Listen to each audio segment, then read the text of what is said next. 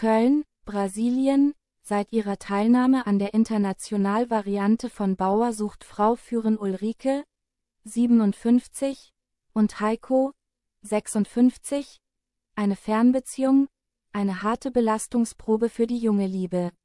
Ein trauriges Update versetzt die Fans jetzt in Alarmbereitschaft. Erst kürzlich hatten sich die beiden in Deutschland eine schöne Zeit gemacht. Gemeinsam mit Heiko klapperte die Brasilien-Auswanderin dabei nicht nur dessen Familie in Bayern ab, sondern auch ihre eigene im Osten der Republik. Inzwischen sind die 57-Jährige und der gelernte Metzger wieder in ihren jeweiligen Alltag zurückgekehrt und damit satte 9000 Kilometer voneinander entfernt. Für Ulrike ist dieser Umstand nur sehr schwer zu ertragen.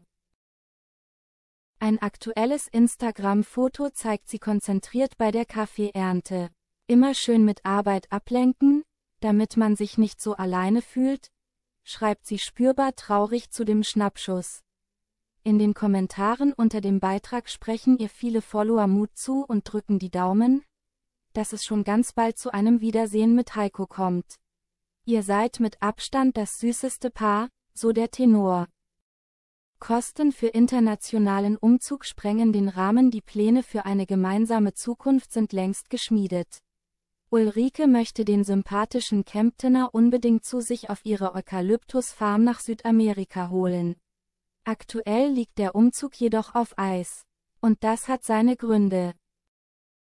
Auf meinem Hof ist ein Umbau im Gange, damit Heiko hier sich auch beschäftigen kann, denn er will mir nicht auf der Tasche liegen und auch nicht faul rumsitzen, offenbart Ulrike im Gespräch mit dem Online-Portal ok-magazin.de.